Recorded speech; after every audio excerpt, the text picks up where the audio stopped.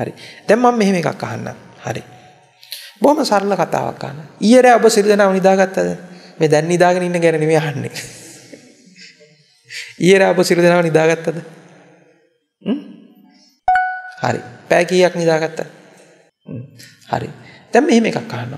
ඔබ නිදාගත්තු බව ඔබ දැනගත්තේ කොයි වෙලාවේද? මම පැය 4ක් 5ක් 6ක් 7ක් නිදාගෙන හිට බව දැනගත්තේ කොයි වෙලාවේද? හ්ම්? අවදි වුණාට පස්සේ. එතකොට ඔබ නිින්ද කියලා කියන්නේ මොකටද?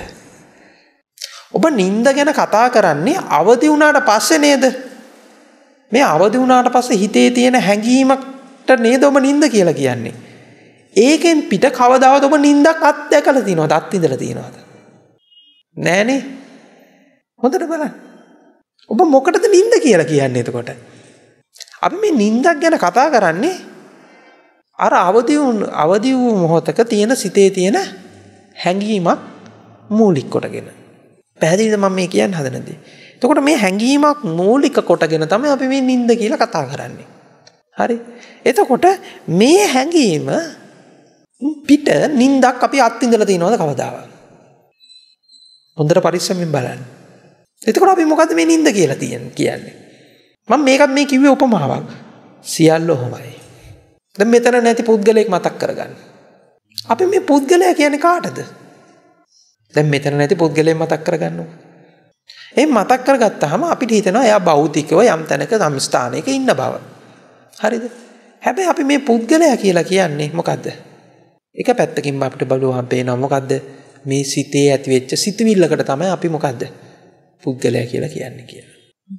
මොකද දැන් ඔබ අම්මා කියන කෙනෙකුට තව කෙනෙක් කියන්නේ කවුද කියලාද? තව කෙනෙකුට ඒක බිරිඳ, තව කෙනෙකුට දුව, තව කෙනෙකුට තරහකාරී, තව කෙනෙකුට නිකන් තවත් කාන්තාව, තව කෙනෙකුට. එතකොට ඔබේ අම්මා ඉන්නේ කොහෙද? හොඳට බලන්න. ඔබේ දරුවා ඉන්නේ කොහෙද? ඔබ මේ දරුවා කියලා දකින්නේ මොකද්ද? පැහැදිලි. මේක හොඳට පොඩ්ඩක් පරිස්සමෙන් බලන්න. බලනකොට පේනවා අර මං අර නිින්ද කිව්ව උපමාවත් අරගෙන බලන්න. එතකොට බලනකොට පේනවා මේ මොකද්ද මේ කතාව කියලා. බලනකොට පේනවා මේකේ අපි හිතන්නේ නැති පැත්තක් තියෙනවා කියලා. හැබැයි අපි මේව මොකද්ද විශ්වාස කරගෙන මොකද්ද අපි යමක් විශ්වාස කරගෙන අපි ඉන්නවා. හැබැයි අපි විශ්වාස කරගෙන ඉන්නකොට අපි හොඳට මතක තියාගන්න මේ අපි විශ්වාස කරගෙන ඉන්න එක පරම සත්‍ය නොවන බව මේක මොකද්ද? සාපේක්ෂ සත්‍යයක් බව. හරි. දැන් මම මෙහෙම එකක් අහන්නම්. තව මේක ප්‍රධාන ප්‍රශ්නයක්. කවුද ඔබ? ඔබ කවුද? මම ඔබෙන් ප්‍රශ්නයක් අහනවා ඔබ කවුද? මේකට මොකක්ද දෙන්නේ ඔබ ඔබ උත්තරේ? දැන් ඔබ ඔබෙන් අහනවා මෙන්න මේ ප්‍රශ්නයක්. මම කවුද? මොකද්ද මේකට දෙන්නේ උත්තරේ? හ්ම්? වෙන තැනක යහුවනම් මම මොකද්ද? මගේ නම සිරිපාල මම නිකන් උපමාවෙන් කියන්නේ මම අහවල් ආයතනයේ අහවල් තනතුරු දරන්නේ ඊළඟ ඔහොම විස්තරයක් කියනවා හරිද මේකෙන් එහා ගිහිල්ලා ඔබ කවුද කියලා හොයාගන්න ඕක දැන් ඔය ඔබ දෙන උත්තර ටික වැරදි වැරදි කියන්නේ මම මේ දැන් හිතන්න ඔබට ඉඩමක් තියෙනවා කියලා එහෙම හරිද ඔබට තියෙනවා පොල් ඉඩම මම මේ උපමාවෙන් කියන්නේ හරිද දැන් ඔබට තියෙන පොල් ඉඩම කවුද හරි ඔබෙන් ඇහුවොත් ඔබ කවුද කියලා හැව්වොත් ඔබ පොල් ඊටම පෙන්නුවොත් මොකද්ද වෙන්නේ? ඔබෙන් අහන ඔබ කවුද කියලා. ඒ හැව්ව ගම ඔබ පොල් ඊටම පෙන්නනවා. එතකොට මේක ගැලපෙනවද? මේක හරිද? නෑ නේද? හරි. එතකොට පොල් ඊටම ඔබේ මිසක් ඔබ නෙමෙයි. ඒක හරිනේ. පොල් ඊටම ඔබේ මිසක් ඔබ නෙමෙයි. හරි. දැන් ඔබ කවුද ඔබ කියලා ඇහුවම ඔබ කියනවා මම සිරිපාල කියලා. සිරිපාල කියන්නේ ඔබද ඔබේ නමද? එහෙම නැත්නම් මම අහවල් තනතුර දන්නවා කියනවා. එතකොට ඒ තනතුර ඔබේද නැත්නම් මොකද්ද? මොකද්ද? ඔබද? නෑනේ. තනතුර වෙනයි ඔබ වෙනයි. නැත්නම් ඔබ පේනවා කය. ඔබ පේනවා මේ මේ තියෙන්නේ මේ මේ ඉන්නේ මමනේ. හරි. හරි. දැන් මේ දැන් මම මේ ඔබෙන් අහන්නේ මේ අත මමද මගේ මේ හාමුදුරුවන්ගේ අතද? මේ අත පෙන්නලා ඇහුවොත් ඔබ කියනවාද මේ අත කියන්නේ හාමුදුරුවෝ කියලා කියනවද නෑ නේද? එහෙම කියන්නේ නෑ නේද? හරි. එතකොට ඒක මම අර ඉඩමේ උපමාව කිව්ව එකෙන් තෝරගන්න මේක ඔබේ සහ මගේ කියන එක වෙනයි මම කියන එක වෙනයි. ඔබ හැම වෙලාවම ඔබ කවුද කියලා ඇහුවාම පෙන්වන්නේ මොකද්ද? හා? මගේ කියන ටික. නැත්තම් කියන මම කියන්නේ හිත කියනවා. හිතටත් කියන්නේ ඔබ මොකද්ද? මම කියලාද මගේ හිත කියලාද? මේකෙන් එහාට ගිහිලා ඔබ කවුද කියලා පොඩ්ඩක් හොයාගන්න. හැබැයි දැන් ඔබ පිළිගන්නවා මොකද්ද? මම කියලා කෙනෙක් ඉන්නවා කියලා.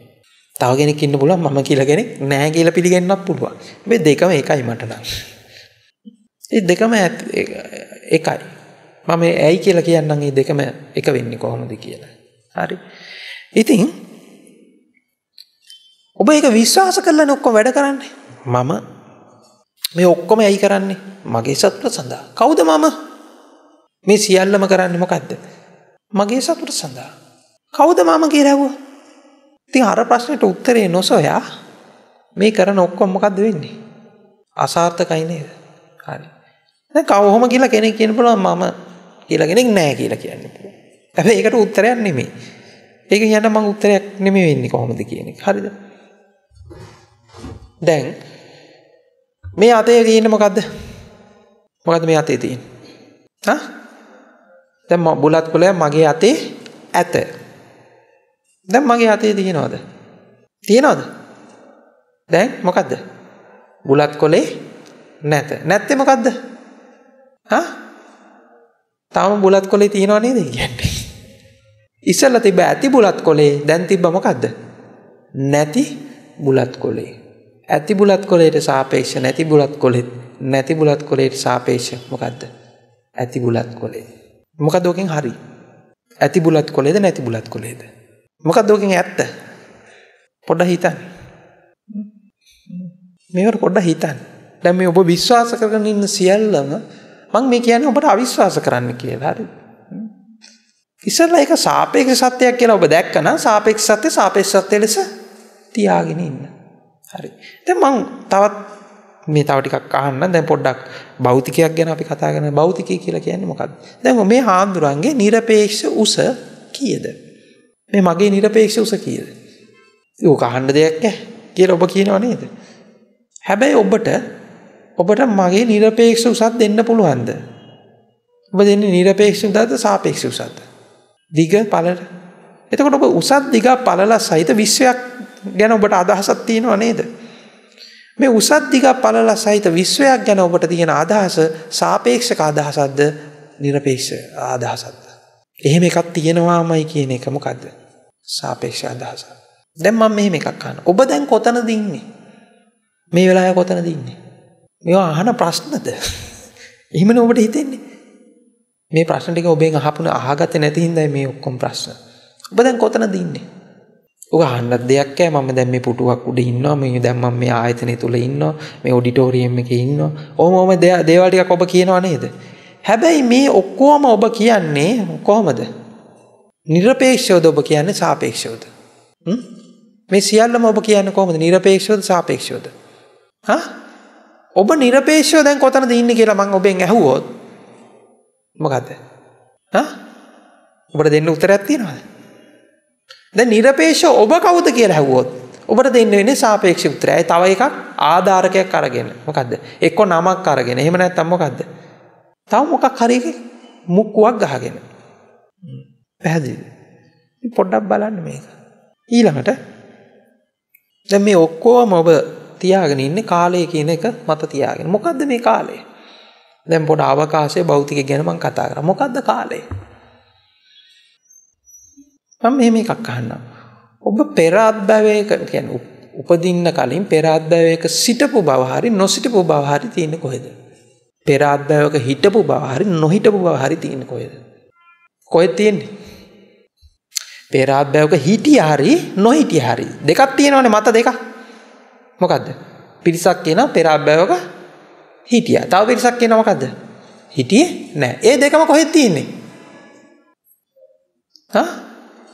අවිශ්වාසයක් සහ මේ වෙලාවේ සිතවිල්ලක් තුල එක විදිහකට ඊළඟට මරණින් මත්තේ උපතක් ඇති බව හා නැති බව ওই දෙකම කොහෙද තියෙන්නේ ඊළඟට ඔබ සිල්දනාට විශ්වාස ඔබලා ඉපදුන බව ඔබ අහන්න දෙයක්ද අහන්න ප්‍රශ්නයක්ද කියලා මම අහන්නේ ඔබ ඉපදුන බව ඔබට විශ්වාසද උපත කොහෙද තියෙන්නේ එතකොට එතකොට මෙච්චර දවසක් ඉගෙන ගත්තු බව, ගෙවල් දොරවල් හදපු බව, දුක් විඳපු බව, සැප විඳපු බව, ඉස්කෝලේ ගිය බව මේ සියල්ල කොහෙද තියෙන්නේ?